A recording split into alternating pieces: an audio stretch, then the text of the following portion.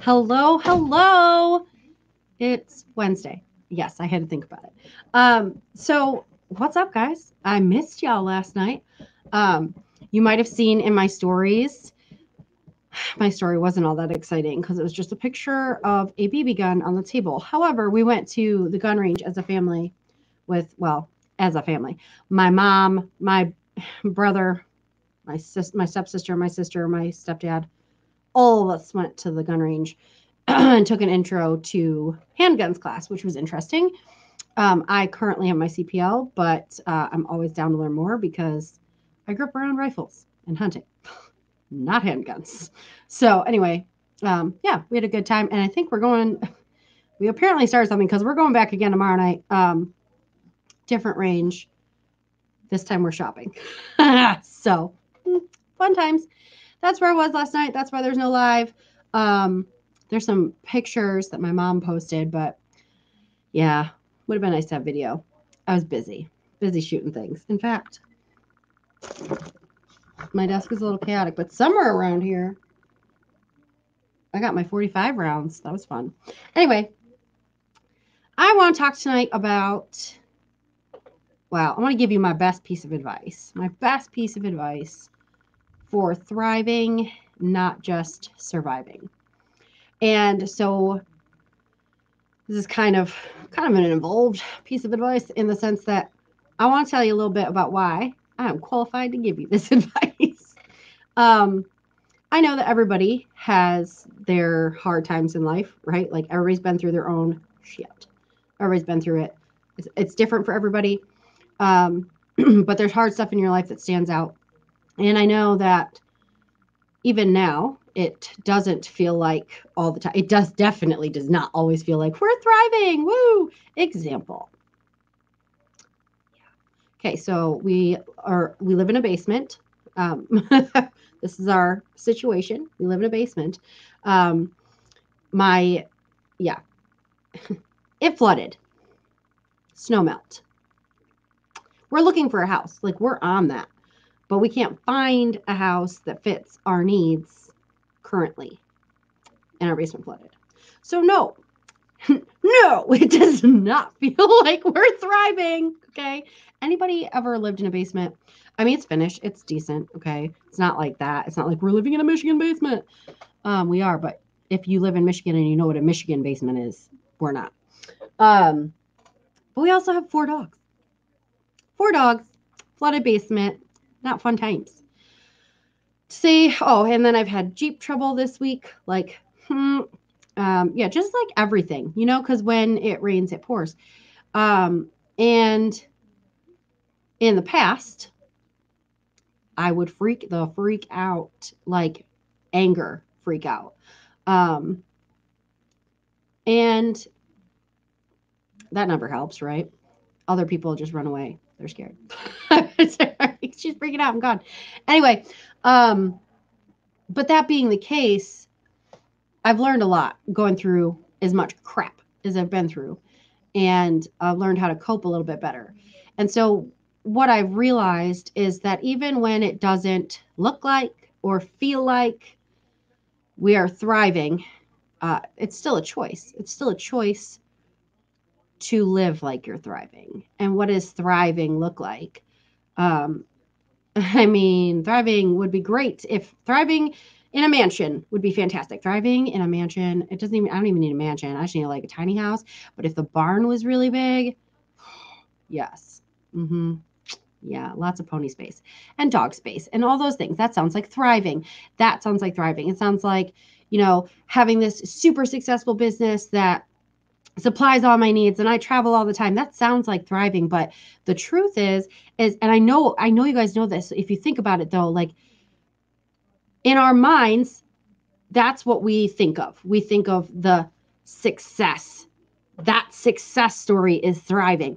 But the reality is people are miserable that have those things. So it's not the things that make the thriving. It's what's going on inside of you. So my number one, my biggest my biggest tip, my best advice, whatever you want to say, would be to start a gratitude practice. Um, and no, it doesn't have to be involved and long. Um, but that one shift of starting your day, which by the way, my gratitude practice is not starting my day with listing three to 10 things that I am glad I have or people that are glad I'm glad in my life. Yes, that usually comes up, but that's not the end of my gratitude practice. Um, because I've learned that there's more to it than that to really reap the benefits of this practice. And if you're going to be doing it, you might as well be getting something out of it, right? Um, so for me, uh, it's about getting that. It's about getting that. I, I don't know. We're paused apparently, so sorry. Um, it's about getting that emotion behind the things that you're grateful for because emotion is power. Okay, so when you start a gratitude practice and you list the things that you're grateful for, but in addition, you think about why you're grateful for them, how those things make you feel. If you're doing it right, you're actually going to feel something about it, right? So, example, I'm super grateful that I have a cup full of pens conveniently located next to my desk. Yeah, no, um, not enough. That's not. There's not a feeling there. Like I do like pens. Okay, don't get me wrong. I love me some pens, uh, but no, not enough. And and because why? Why? Why do you love those pens? I love the way they feel on the paper. Yeah, I'm a little nerdy. We'll get over it.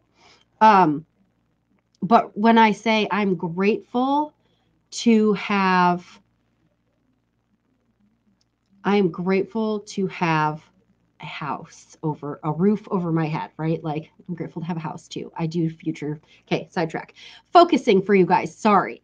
Um I'm grateful to have a house even if it's flooded. Why? How does it make me feel?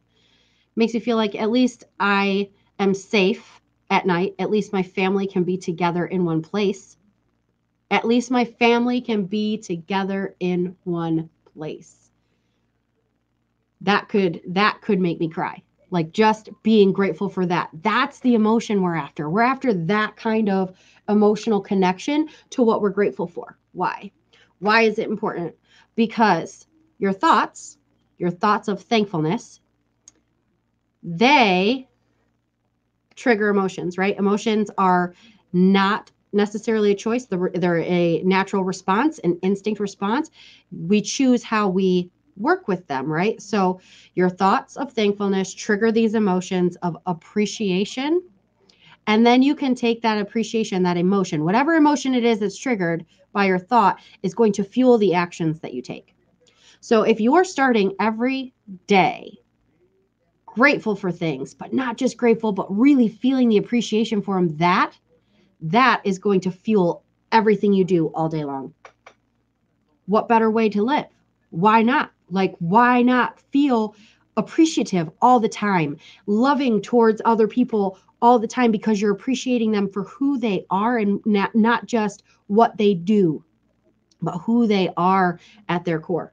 And not just, you know, not just those simple things of, oh, I'm grateful to have a car. I am very grateful to have a car. Why am I grateful to have a car? How does having a car make me feel? It makes me feel um, free. It makes me feel like I can go do whatever I need to do. And, and there's a level of safety in that, right? Like if you need to go to the store to get supplies, you can. If you need to go to the doctor, you can. If you need to go to work to make money, you can. You have, you're capable. It makes you feel capable. It makes you feel empowered. It makes you feel like you can go. All of those things will then fuel your day. That's thriving. That's thriving because you control it. You control every aspect of that because it all starts here and then it goes here and then that feels it just goes throughout your day. It's it's it's fabulous. That's thriving to me. That's thriving. Is controlling my emotional environment and it's not even it's it's just choosing. It's just choosing to be grateful and appreciative every day for the smallest of things. So that's my best advice. Um, thanks don thanks for joining me and i'm glad you like it. So anyways that's it. I'm out happy Wednesday. I will be back tomorrow. I think maybe, maybe tomorrow there'll be more gun range footage. That'll be fun. So, anyways, that's all. You guys have a fabulous Wednesday night, and I'll catch you later.